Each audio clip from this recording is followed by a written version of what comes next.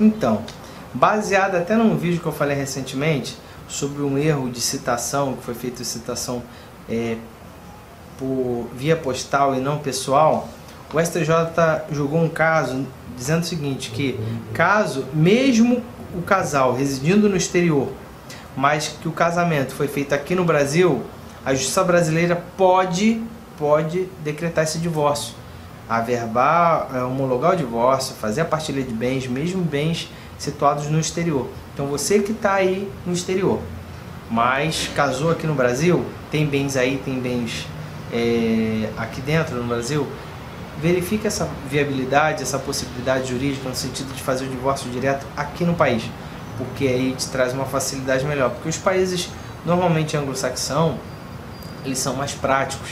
Então a facilidade de você homologar uma sentença brasileira de divórcio aí é muito mais fácil de você homologar sua sentença de divórcio daí aqui. Espero ter ajudado, vou colocar essa decisão na descrição do vídeo.